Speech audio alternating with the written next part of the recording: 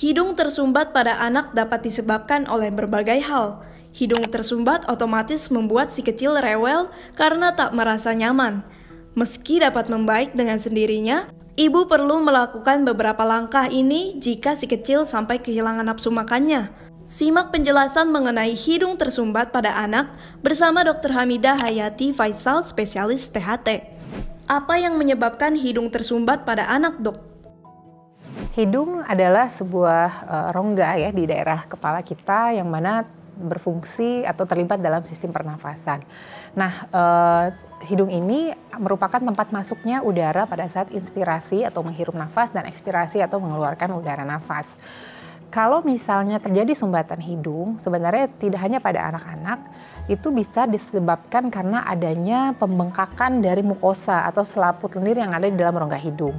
Nah, e, pembengkakan ini sehingga akan menyebabkan gangguan aliran e, udara ke hidung. Tentu saja anak tersebut akan mengeluhkan e, hidung tersumbat atau susah bernafas dari hidung atau tanpa disadari anaknya menjadi bernafas dari e, mulut. Pemicunya adalah e, bermacam-macam. Misalnya pada anak-anak dengan alergi tentu saja paparan alergen atau zat-zat yang uh, sensitif terhadap anak tersebut itu akan memicu uh, pembengkakan dari mukosa tadi. Misal paling sering kalau di Indonesia adalah debu atau mungkin di luar negeri adalah uh, serbuk bunga.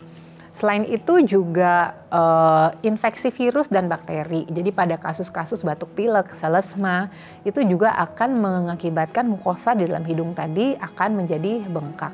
Nah, tentunya anak-anak uh, mungkin yang sudah berusia lebih besar sudah bisa mengkomunikasikan dia akan mengatakan gangguan pada uh, hidungnya pada saat bernafas. Namun uh, kita perlu hati-hati uh, juga pada anak-anak yang berusia, berusia di bawah lima tahun. Nah biasa di bawah lima tahun ini anak-anak juga memiliki kecenderungan untuk memasukkan benda-benda ke dalam rongga yang ada di badannya. Salah satunya itu ke hidung. Jadi kita harus hati-hati juga harus dilihat kadang-kadang Lego atau benda-benda mainan kecil itu juga bisa masuk ke dalam uh, rongga hidung anak-anak yang menyebabkan adanya keluhan uh, sumbatan hidung. Selain itu juga kelainan seperti adanya polip ataupun tumor ataupun uh, amandel belakang hidung atau adenoid yang membesar itu juga bisa memberikan keluhan sumbatan hidung pada anak-anak. Bagaimana gejala hidung tersumbat pada anak? Ya memang pada anak-anak yang sudah lebih besar, yang sudah bisa mengkomunikasikan dengan baik, dia bisa mengeluhkan hidungnya mampet, nggak bisa nafas dari hidung.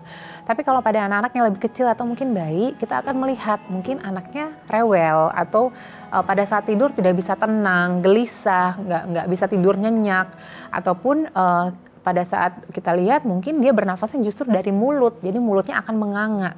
Nah, itu bisa menjadi salah satu tanda bahwa anak uh, kita mengalami sumbatan di hidungnya. Nah, selain itu juga pada saat tidur akibat sumbatan hidung tadi, anak kita bisa memberikan keluhan uh, mendengkur pada saat tidur. Nah, ini juga perlu diperhatikan uh, sebagai uh, tanda ya bagi kita orang tua untuk melihat apakah memang pada anak kita ada keluhan hidung tersumbat atau tidak. Bagaimana pengobatan hidung tersumbat pada anak sesuai dengan uh, penyebabnya. Tentunya kita harus mengobati sesuai dengan penyebabnya. Misalnya pada kasus akibat infeksi virus ataupun bakteri. Sebenarnya kalau untuk infeksi virus biasanya akan uh, eh, self limiting disease yaitu dia akan sembuh sendiri tanpa pengobatan tertentu uh, biasanya kita bisa bantu dengan memberikan obat-obatan uh, dekongestan atau yang berada yang ada di dalam kandungan obat pilek biasanya ataupun pada kasus-kasus dengan kecurigaan ke arah bakteri mungkin penggunaan antibiotik juga bisa membantu untuk mengatasi penyakitnya.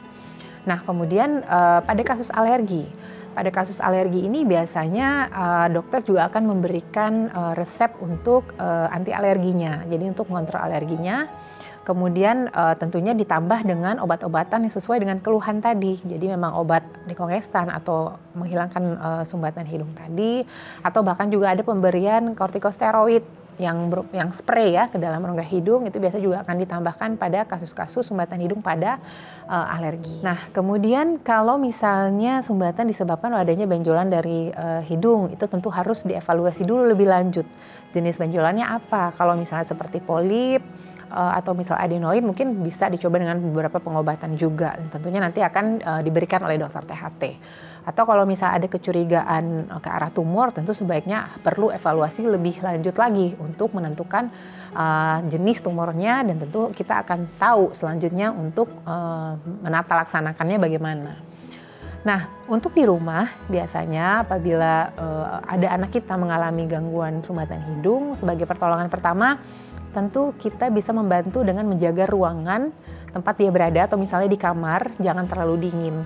Karena biasanya suhu dingin itu justru akan memperparah sumbatan hidungnya. Jadi dijaga suhu supaya tetap hangat.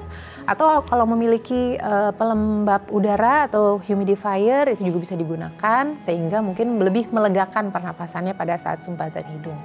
Selain itu juga uh, mungkin dengan menghirup uap dari air panas jadi uap hangat tersebut dibantu dihirup atau dibawa anaknya ke kamar mandi, dinyalakan uh, mungkin kalau punya bak yang dengan air panas itu juga bisa membantu melegakan uh, saluran nafasnya. Atau sekarang juga ada obat-obatan yang dioleskan uh, mungkin ke badan yang memberikan efek hangat itu sebenarnya juga bisa membantu.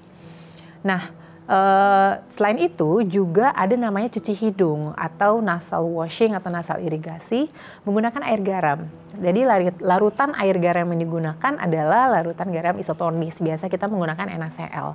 Nah, uh, tindakan cuci hidung ini sendiri juga akan sangat membantu untuk meredakan uh, keluhan sumbatan hidung pada si anak tadi.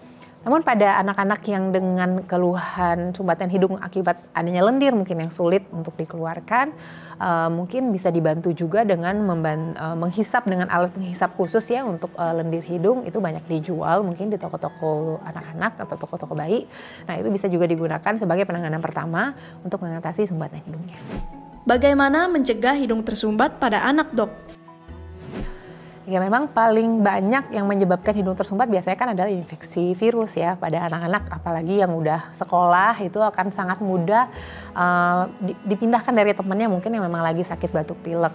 Jadi tentu saja apalagi dalam masa pandemi ini kita juga harus mengajarkan kepada anak untuk menjaga protokol kesehatan. Tentu saja memakai masker apabila dianya juga sedang uh, batuk pilek atau ada temannya yang batuk pilek disarankan untuk tidak bermain terlalu dekat. Kemudian harus rajin mencuci tangan karena memang paling sering untuk membawa kuman ataupun virus tadi adalah lewat tangan. Jadi anak-anak sibuk main, nggak sengaja tangan pegang sana, pegang sini, kemudian pegang daerah wajahnya. Nah itu menjadi pemicu dia bisa jadi kena infeksi virus ataupun bakteri tadi. Kemudian juga minum air putih yang cukup ini juga sangat membantu apalagi kalau sudah ada pilek ya dengan hidrasi yang cukup biasanya membantu untuk mengurangi keluhan hidung tersumbat juga. Dan uh, sebaiknya juga menghindari uh, iritan atau misalnya zat-zat yang uh, sensitif terhadap hidung misalnya pada pajanan asap uh, rokok atau bau-bau kimia yang terlalu menyengat ke hidung. Nah itu sebaiknya uh, dihindari uh, supaya mencegah uh, keluhan hidung tersumbat tadi. Demikian penjelasan saya mengenai hidung tersumbat pada anak saya Dr. Hamidah Hayati Faisal, spesialis THTKL. Sampai ketemu di episode berikutnya.